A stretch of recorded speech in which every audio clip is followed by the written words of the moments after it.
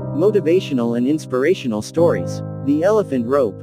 A man was walking nearby to a group of elephants that was halted by a small rope tied to their front leg. He was amazed by the fact that the huge elephants are not even making an attempt to break the rope and set themselves free. He saw an elephant trainer standing beside them and he expressed his puzzled state of mind. The trainer said, when they are very young and much smaller we use the same size rope to tie them and, at that age, it's enough to hold them.